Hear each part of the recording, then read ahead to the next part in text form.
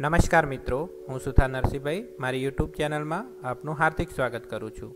આજે આપણે જોઈશું પાક ઉત્પાદન અને વ્યવસ્થાપન. મિત્રો, ભારત એક વિશાળ દેશ છે. અહીં તાપમાન, ભેજ, વરસાદ જેવી વાતાવરણીય પરિસ્થિતિ એક ક્ષેત્રથી બીજા ક્ષેત્રમાં ભિન્ન હોય છે. આથી દેશના વિવિધ ભાગો ઉપર વિવિધ પ્રકારના પાક ઉછેરવામાં આવે છે. જ્યારે કોઈ એક જ પ્રકારના છોડને કોઈ સ્થાન પર મોટી માત્રામાં ઉછેરવામાં આવે તો તેને પાક કહે છે. જે પાકને વરસાદની ઋતુમાં રોપવામાં આવે છે, તે પાકને ખરીફ પાક કહે છે. ભારતમાં વરસાદની ઋતુ સામાન્ય રીતે જૂનથી સપ્ટેમ્બર સુધી હોય છે, જેમાં મકાઈ, ડાંગર, સોયાબીન, મગફળી, કપાસ વગેરેને ઉછેરવામાં આવે છે. શિયાળામાં રોપવામાં આવતા પાકને રવિ પાક કહે છે, જેનો સમયગાળો સામાન્ય રીતે ઓક્ટોબરથી માર્ચ સુધીનો હોય છે, જેમાં ઘઉં, ચણા, વટાણા, રાઈ વગેરેને ઉછેરવામાં આવે છે. પાકને ઉછેરવા માટે ખેડૂતને અનેક પ્રવૃત્તિ સમયાંતરે કરવી પડે છે અને આ પ્રવૃત્તિ અથવા કાર્યને ખેત પદ્ધતિઓ કહે છે. જેમાં ભૂમિ તૈયાર કરવી, રોપણી કુદરતી અને કૃત્રિમ ખાતર આપવું સિંચાઈ, નીંદણથી રક્ષણ, લણણી અને સંગ્રહનો સમાવેશ થાય છે. હવે જોઈએ ભૂમિને કઈ રીતે તૈયાર કરવી તે. પાક ઉછેરતા પહેલાં ભૂમિને તૈયાર કરવી તે પ્રથમ ચરણ છે. માટીને ઉપર નીચે કરવી અને પોચી તે ખેતીનું મહત્વનું કાર્ય છે. આથી મૂળ જમીનમાં ઊંડે સુધી જઈ શકે છે. પોચી માટી, માટીમાં રહેતા અળસિયા અને સૂક્ષ્મજીવોની વૃદ્ધિમાં સહાય કરે છે. આ સજીવો ખેડૂતોના મિત્ર છે, કારણ કે તે માટીને ઉપર નીચે કરી અને પોચી કરે છે. માટીને ઉપર નીચે અને પોચી કરવાની ક્રિયાને ખેડાણ કહે છે. આ પ્રક્રિયાને હળ ચલાવીને કરવામાં આવે છે. હળ લાકડાનું અથવા લોખંડનું હોય છે અને ખેતરને સમથળ કરવા માટે સમારનો ઉપયોગ કરવામાં આવે છે. મિત્રો હવે આપણે બીજો તબક્કો વાવણી વિશે જોઈએ.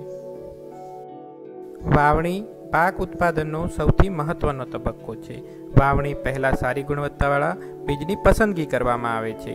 સારી ગુણવત્તાવાળા બીજ સ્વચ્છ અને તંદુરસ્ત હોય છે, જે વાવવાથી આપણો પાક સારો થાય છે. વાવણી કરવા માટે મેઇન રોપણી હોય છે અથવા તો આ રીતે ઓરણી દ્વારા પણ વાવેતર કરવામાં આવતું હોય છે, જેમાં લોખંડની ઓરણી હોય છે, ટ્રેક્ટર દ્વારા ઓરણી પણ હોય છે અને જે પરંપરાગત લાકડાની બળદ દ્વારા પણ ઓરણીનો ઉપયોગ કરવામાં આવે છે. અથવા તો ડાંગર જેવા પાકના ધરુને આ રીતે રોપણી કરી અને પણ વાવણી કરવામાં આવતી હોય છે.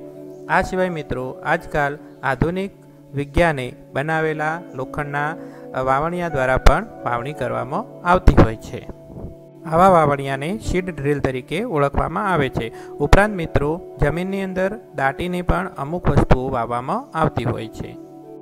મિત્રો, હવે પછીનો આપણે તબક્કો જોઈશું. ખાતર આપવું, જેમાં કુદરતી અને કૃત્રિમ ખાતરનો સમાવેશ થાય છે. વનસ્પતિના તંદુરસ્ત વિકાસ માટે પોષક દ્રવ્ય સ્વરૂપે જે પદાર્થને માટીમાં ઉમેરવામાં આવે છે, તેને કુદરતી ખાતર અથવા તો કૃત્રિમ ખાતર કહે છે. ભૂમિ પાકને ખનિજ તત્વો પ્રદાન કરે છે, જે પાકની વૃદ્ધિ માટે આવશ્યક છે.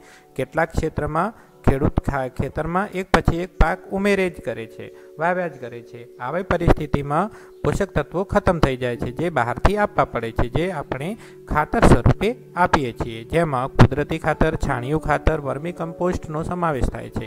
અને કૃત્રિમ ખાતરની વાત કરીએ તો તેની અંદર આપણે ડીએપી યુરિયા વગેરેનો સમાવેશ કરી શકીએ છીએ. દોસ્તો, કૃત્રિમ ખાતર છે એ આપણે પાણી સાથે અથવા તો ખેતરમાં પૂંખીને પણ આપી શકીએ છીએ. દોસ્તો, હવે આપણે જોઈએ સિંચાઈ. જીવંત રહેવા માટે પ્રત્યેક સજીવને પાણીની આવશ્યકતા રહેલી હોય છે. વનસ્પતિના ફૂલ, ફળ અને બીજની વૃદ્ધિ તેમજ વિકાસ માટે પાણીનું વિશેષ મહત્ત્વ છે. વનસ્પતિના મૂળ દ્વારા પાણીનું શોષણ થાય છે, જેની સાથે ખનિજો અને ખાતરનું પણ શોષણ થાય છે અને વનસ્પતિમાં લગભગ નેવું ટકા પાણી હોય છે. મિત્રો, સિંચાઈના પરંપરાગત સ્ત્રોતોમાં ચેઇન પંપ, ત્યારબાદ ઢેકલી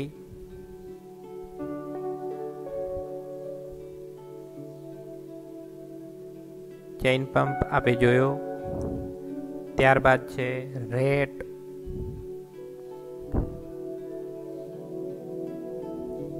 ત્યારબાદ મોટ વગેરે પદ્ધતિઓનો ઉપયોગ કરવામાં આવે છે. એ સિવાય ધોરિયા પદ્ધતિ દ્વારા પણ પાણી આપવામાં આવે છે. પરંતુ મિત્રો, ધોરિયા પદ્ધતિમાં પાણીનો વ્યય વધુ થાય છે. ત્યારબાદ આપણે સમથળ જગ્યાની અંદર ફુવારા પદ્ધતિનો ઉપયોગ કરવામાં આવે છે, જેથી આપણે પાણીની બચત કરી શકીએ છીએ. અને પાણીની અછતવાળા વિસ્તારની અંદર આપણે ડ્રોપ એટલે કે ટપક પદ્ધતિનો ઉપયોગ કરીએ છીએ, જે તમે અહીંયા આગળ જોઈ શકો છો કે ટપક પદ્ધતિ દ્વારા પાણી આપવાથી પાણીનો વ્યય અટકાવી શકાય છે. દોસ્તો, હવે જોઈએ આપણા પાકને બચાવવા માટે નીંદણથી રક્ષણ. ખેતરમાં કેટલાક અન્ય અનૈચ્છિક બિનજરૂરી છોડ કુદરતી રીતે પાકની સાથે ઉગી નીકળે છે. આવા બિનજરૂરી છોડને નિંદણ કહે છે અને નિંદણને દૂર કરવાની જે ક્રિયા છે એને નિંદામણ કહે છે. નિંદામણ આવશ્યક છે કારણ કે નિંદણ, પાણી, પોષક દ્રવ્યો, જગ્યા તેમજ સૂર્યપ્રકાશ વગેરેને પાક સાથે સ્પર્ધામાં તેની વૃદ્ધિ થવા દેતા નથી. દોસ્તો, નીંદણને કેટલાક રસાયણની મદદથી પણ દૂર કરી શકાય છે, જેને નીંદણનાશક કહે છે, જેમાં ટુ ફોર ડી વગેરેનો ઉપયોગ કરવામાં આવે છે, જેને સ્પ્રે વડે છાંટવામાં આવે છે. ઉપરાંત, દાંતરડા વડે પણ નીંદણને દૂર કરવામાં આવે છે અને હળ વડે પણ દૂર કરવામાં આવે છે. હવે જોઈએ મુખ્ય તબક્કો છે લણણી. પાક તૈયાર થઈ ગયા પછી લણણી કરવાની પ્રક્રિયા. જ્યારે પાક પરિપક્વ થઈ જાય, ત્યારે તે પાકને કાપવાની ક્રિયાને લણણી કહે છે. લણણી દરમિયાન કાં તો છોડને ખેંચીને ઉખાડી લેવામાં આવે છે અથવા તેને જમીનની નજીકના અંતરેથી કાપવામાં આવે છે.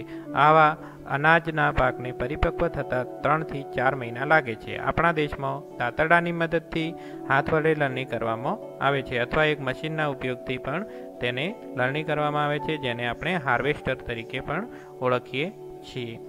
કાપવામાં આવેલા પાકમાંથી દાણા અથવા ભૂસાને અલગ કરવાની ક્રિયાને થ્રેસિંગ કહે છે, જે થ્રેસર મશીન દ્વારા કરવામાં આવે છે અને તેને ઉપણી અને આ રીતે અલગથી કચરો દૂર કરવામાં આવે છે. હવે જોઈએ પાકના સંગ્રહ વિશે. ઉત્પાદનનો સંગ્રહ એક મહત્વનું કાર્ય છે. જો ધાન્ય પાકને વધારે સમય સુધી રાખવાના હોય, તો તેને ભેજ, કીટક, ઉંદર અને સૂક્ષ્મજીવોથી રક્ષણ આપવું રહ્યું. જો તાજા કાપેલા પાકના દાણાઓને સૂક્યા વગર સંગ્રહ કરવામાં આવે તો તેને બગડવાની અથવા સૂક્ષ્મજીવો દ્વારા નષ્ટ થવાની અને બીજાંકુરણ ક્ષમતા ગુમાવવાની સંભાવના રહે છે. અર્થાત સંગ્રહ પહેલાં બીજને તાપમાં સૂકવવા આવશ્યક છે, જેનાથી તેમને ભેજથી રક્ષણ મળી શકે છે. અને આ રીતે ખેડૂતો પોતાના પાકને ઉત્પાદનનો સંગ્રહ કોથળામાં અથવા ધાતુના પીપળામાં કરે છે, જેને સાયલો કહે છે. મિત્રો, તમને આજનો વીડિયો અવશ્ય પસંદ આવ્યો હશે. તો અમારી ચેનલને સબસ્ક્રાઈબ કરવાનું ચૂકશો નહીં. ફરી મળીશું નવા એકમ સાથે. ત્યાં સુધી નમસ્કાર.